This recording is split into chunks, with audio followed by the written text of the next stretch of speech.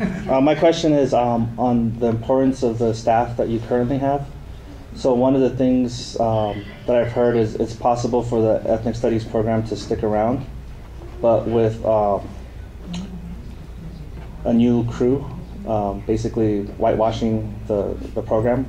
So you know you keep it around, so people think they're happy, but at the same time you get rid of all the teachers or some of the, pe- the influential pe- people. So can you speak about the importance of the, the teachers that you have right now and how you know you can't have the program without the teachers?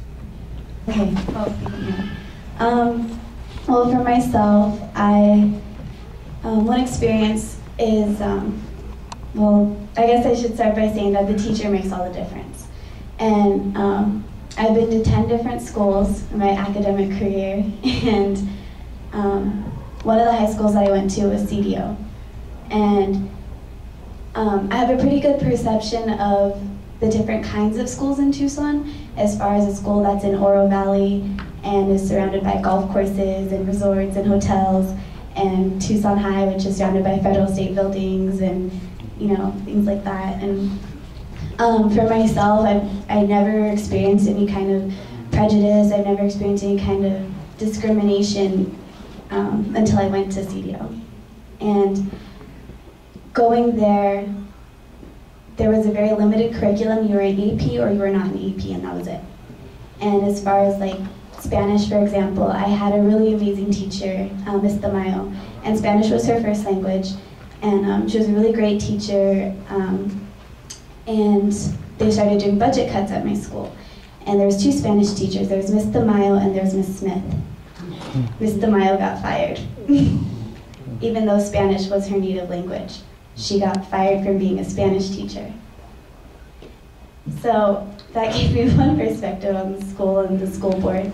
And um, I heard about Latino literature halfway through my junior year. And I begged my mom for me to go to Tucson High and take the class, and she finally gave in.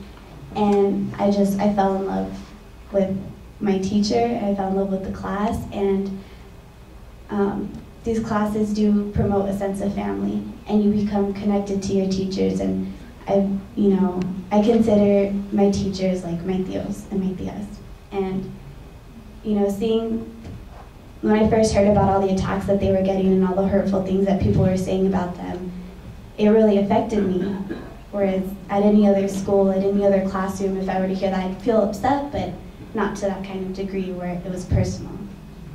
And so these classes are nothing without the teachers. The teachers are what made these classes, and it's theirs. They, theirs to share with us. It's something that they created for us to share with us. And if you have someone else teaching that, it doesn't make any sense.